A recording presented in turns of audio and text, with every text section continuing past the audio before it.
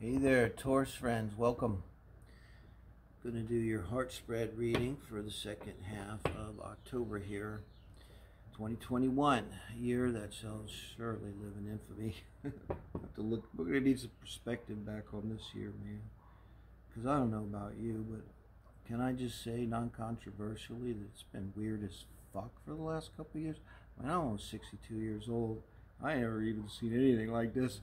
I pretty wide open dude, and I never even dreamed that it's like some weird dystopian movie that should be watching, like some B-rated movie. but no, it's reality apparently. Whew. So anyway, moving through that energy, this reads the one that's on your mind, the one that's in your heart, and um, right now, you know, in Libra season, I keep that in mind. Do check out the Soul Family Reads up for today. It's a daily read. Always on Mondays, I do uh, Taurus and Aries. I also have the singles read out now. This is for the one on your mind, the one in your heart, the heart spread here. Uh, singles read meet soulmates if you're totally and completely single. But this whole family read is significant. And it's just a collective read for whoever resonates. I talk more personally, more less about love, relationship, more about manifestation, spirituality. Uh, but here we're going to look at this one you're thinking of here. In the name of light and love, only so it serves the greatest good. What can we get for Taurus spirit? That is the most helpful in terms of this person that's on their mind here. Thank you. Ten of Wands. Now, as a card reading here, it ends up in the shape of a heart. And with the Ten of Wands, this is your energy in and around love and relationships and a little bit detached from your energy that the, with the person you're thinking of. This is, I see your first house energy in astrology as an astrologer. Uh, I see this as a baseline of kind of where you're at. So you're worn out. You need to get to the village. You need to put down this load. Um, is a strong energy with this. So uh, whether you're coming in, uh, this reads how you're coming into the relationship, where you were at as you come into this relationship. And um, whether it was five years ago or five minutes ago, um, when you came into this relationship, you were carrying a heavy load. So, what do we want when we're carrying a heavy load? We want to put it down. It's natural. Uh, so, got to watch out already. Where are you going to put that down? Are you going to put down just before you meet them? Or are you going to hand off this burden to them? That's the energy. So, it's not really a good energy to have in terms of coming to a relationship here, Taurus. Two of Swords. And this is a terrible energy. Come into a relationship with, wow so again, this is your person, where they are in the realm relationships and their mind and their heart. And this is the energy to me of I just don't know. I just don't know. And it's like it's frustrated and stuck and isolated. There's a lot of isolation with these swords, the eight of swords, two of swords. Um, good thing about the five of swords, it ain't isolated. Usually, there could be somebody involved even the three of swords, you know, your three is active here, two of swords. And, you know, this literally could be, uh, in the most literal sense, your person here, Taurus. Um, they're in a position of having to make a decision, uh, mind over heart decision, classically. Um, but let's look at it this way. Like I said, what, what's a human being going to do if you burden? You won't put your burden down. Uh, so what can we determine about this person? Um, they must not be in a happy, fulfilling relationship, or whoever's on their mind, be it you or whomever, um, unless you're new. And my point is, whoever they're with, um, they're not connected with them. It's not solid, or they wouldn't be in this Two of Swords energy, probably to start with. You know, they'd be talking to the person, they'd be working things out. They here, it's like they've detached and you know i maybe trying to make a decision about you you know? So they may be perceiving you as someone that comes with a lot of baggage of things to do not not necessarily here emotional baggage right? But someone that comes you know like they would maybe make more money maybe you make less money maybe you have a lot of debt maybe you have a lot of obligations that kind of thing the Two of Pentacles, how you're reacting to them. Well, I got to tell you, this is about the perfect uh, card to have right here. Uh, this is how you're reacting to this person, okay? And um, you're reacting to them in a very balanced way. So, and you know, I don't really see this as exactly the in this position particularly. This is not like the Two of Swords even.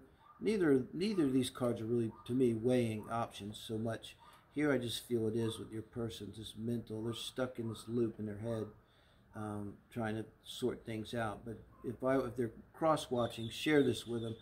Point is, if you're in this energy, then yeah, it's there's not even a question anymore. If you're in love and you're committed and you have a healthy relationship, you don't get in this energy, if at all, for a minute, and then you figure it out. That's what keeps it a healthy, viable, committed relationship. If you get into this energy, off on your own, thinking in your head, you don't really have a relationship anymore. My opinion. Now you come in with the Ten of Wands, uh, Two of uh, Pentacles, I mean, leaving this Ten of Wands. I believe somehow you did manage to not dump it on them because you're reacting to them very balanced energy.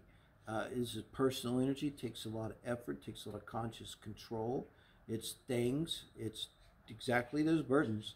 Maybe you realize I don't want to bring this person my burdens, you know, so you've managed to work it out. And so now, in terms of them, whereas uh, you were in this energy of really feeling burdened, like you just couldn't do it anymore, you've got it together, got it together.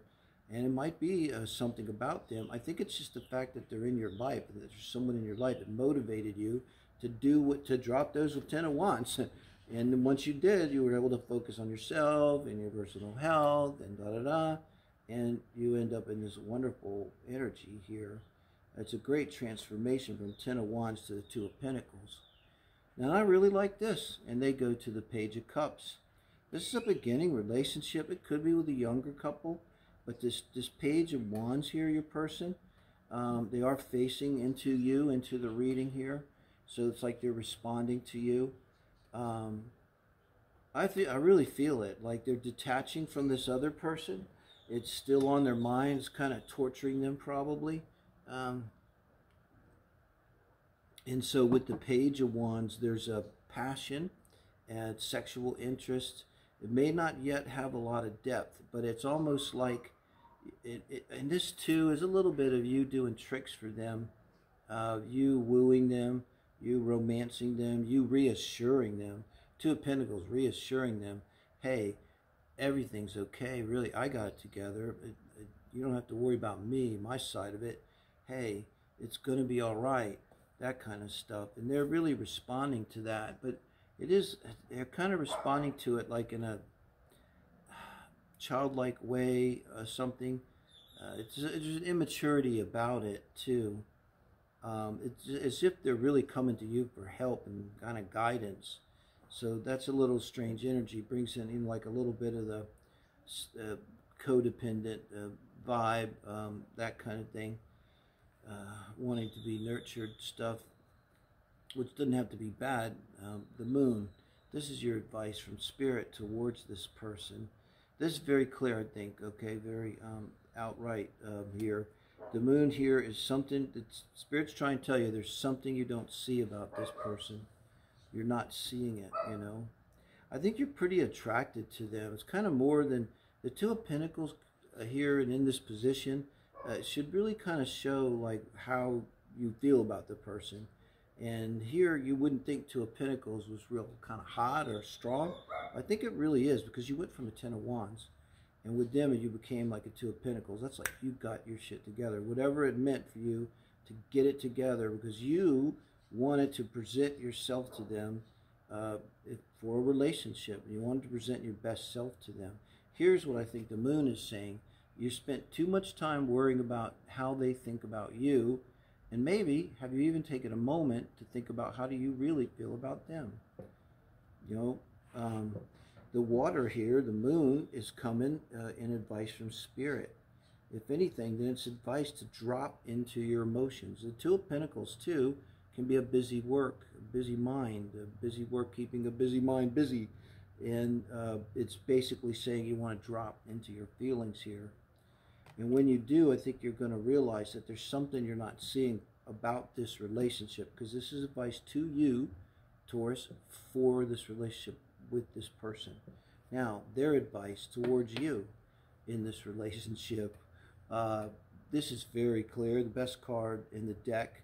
They are, and this is what is so wonderful about this, and it's got to be a, a relationship's got to succeed now. The universe itself is telling your person to open up to Taurus here, completely open up to Taurus, to trust, to give yourself, to it's okay to shine, to be yourself. And maybe that's what you need. Like you feel like there's something you're not getting, some kind of connection you're not getting. Because here's the one really emotional card your advice with them. And I think in their past relationship here, Taurus, you know, not to make excuses, but they felt like they couldn't be themselves. They felt like they weren't seen by the other person. And you see them. You always saw them. You saw them the second you locked eyes. And you knew who they were and what they were. It just took a few minutes conversation. But you felt it. You knew it. And they see that. And that's their advice from Spirit is remember, cross-watcher, and share this Taurus, maybe, with your person if it resonates. You know, this is the universe trying to tell you, do you realize how blessed you are here? You know what you have here? Well, told you. Uh, this is the Four of Wands. I don't do the reverses. Four Wands. This is advice from Spirit for the relationship now as a whole. And there's no other way to read that.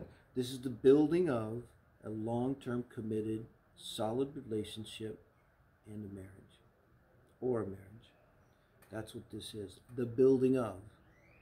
It shows that what you guys need to do is build now together this long term committed relationship or marriage if that's what you want. Clarifying the moon, King of Cups. Your concern is about the past person. I have to throw in here's my favorite card in the deck. It's the Jim Morrison King of Cups.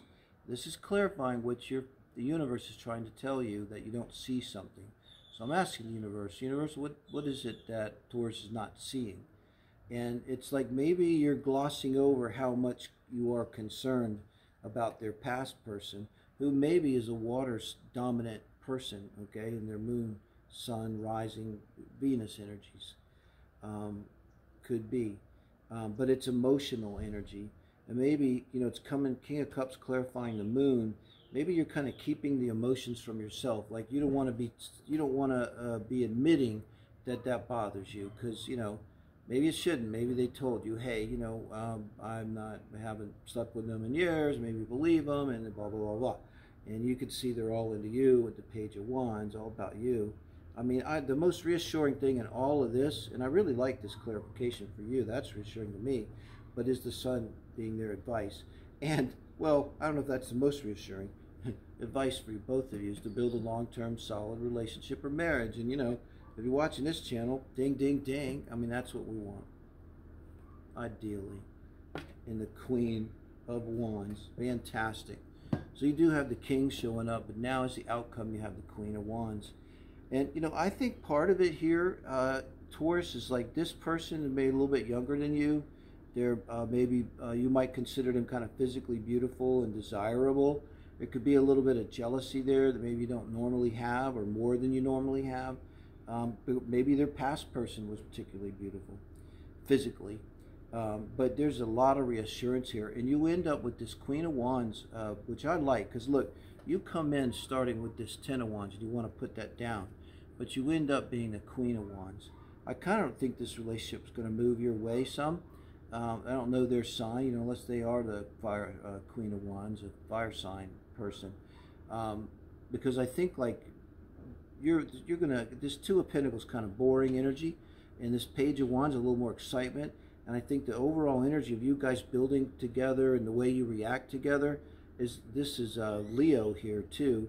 Look at your composite relationship chart. Please respond if you do, and just tell me what it is. But tell me if it's a, not a Leo uh, rising in your composite. I really would be interested to know that because um, this does read, I think, the composite.